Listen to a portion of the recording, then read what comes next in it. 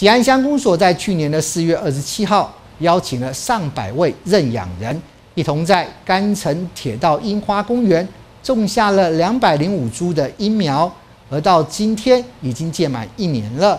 从三月开始，樱花是陆续的绽放，为吉安乡带来不一样的浪漫氛围。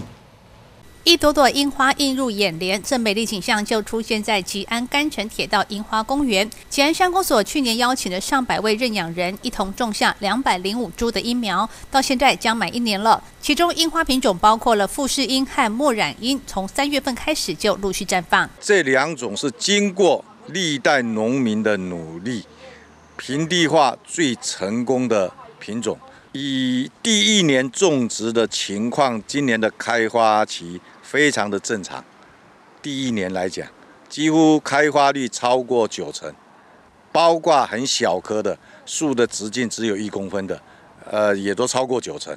公园里头还有一座樱花亭，是亲子共游、野餐赏樱的最佳观赏点。虽然到了十月中旬，赏花期已经快结束了，但来到园区还是可以了解到樱花的生长过程。那至于赏花期最适合以花莲来讲呢，是三月下旬到四月上旬是最适合。